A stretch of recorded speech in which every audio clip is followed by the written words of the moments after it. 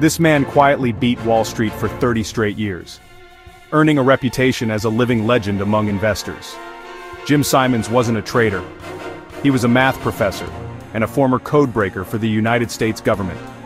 His genius in mathematics and code-breaking set him apart from everyone else on Wall Street.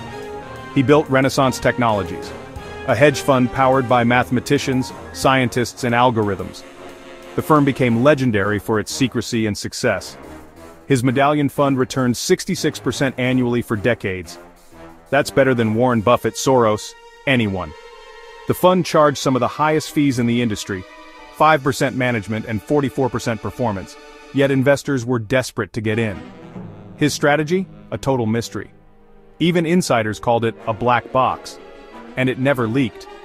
The Medallion Fund was so exclusive, only employees and a select few could invest, and there was a massive waiting list just to be considered. He used math, data, and discipline to quietly dominate the market, cementing his status as a Wall Street legend. Follow Ziksa Finance for more stories of the minds who mastered money.